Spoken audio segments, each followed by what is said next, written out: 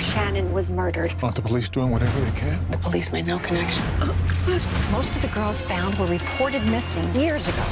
Why did it take 20 years to catch them? Welcome back. That was a clip from Lifetime's original movie, The Gilgo Beach Killer, inspired by Mari Gilbert's search for her daughter that led investigators to the discovery of the bodies of numerous women on Long Island believed to have fallen prey to a serial killer. Joining us now is the movie's executive producer and Inside Edition host, Deborah Norville. Yeah. Welcome back guys. I should say I'm one of the executive producers, That's but very proud to be tooting our horn on this movie. I love that. All right, Deborah, let's jump right in. Thank you for being here. It took over 10 years to make an arrest in the Gilgo Beach serial killings cold case. When did you become interested in this case specifically? Well, right when, when the bodies were first found. Uh, this was back in 2010 when the first of what ultimately were 11 different bodies were found in the abandoned beaches of uh, the desolate beaches of Long Island. And those bodies were found because of the character that you just saw in the clip that you played. Mari Gilbert's daughter Shannan went missing. She was an escort, as were virtually all of the women whose bodies have been found on Long Island. The work of a serial killer or serial killers and no one was doing anything about it. And this woman persisted, and that's the story we're telling Sunday night on Lifetime. Had it not been for the efforts of Mari Gilbert, we likely wouldn't know that any of these people had been murdered, that there was a serial killer in our midst.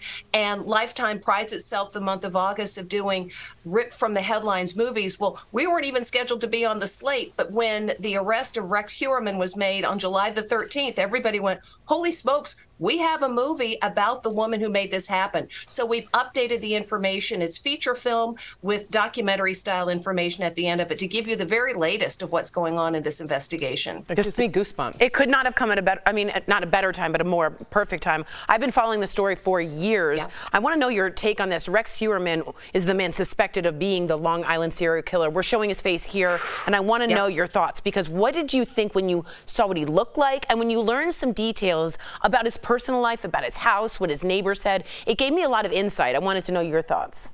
Well, it certainly falls into what we've seen is sort of the the the archetype of the serial killer, narcissistic, yeah. um, self-centered, um, able to compartmentalize one's life. We we've learned uh, very different things about the way Rex Heuermann, uh, lived. When one of the murders allegedly took place, his wife was out of the country. So it would appear that some of the evidence in the case against him will be the way to which he was able to compartmentalize his life as an architect, a respectable businessman in New York City, and the apparent work of a serial killer who preyed on women who worked in the sex trade. Mm-hmm. And it's interesting, as you and I are speaking today, this morning, the Long Island police, the Suffolk County police announced that they have made yet another identification. Jane Doe number seven Jeez. has now been identified. So as we're sitting here, right. this very cold case continues to yield new information. Right, wow. in real time. Um, wow. Okay, so the Gilgo Beach Killer movie will feature you providing these new details, as you just stated, exactly. from the horrific case.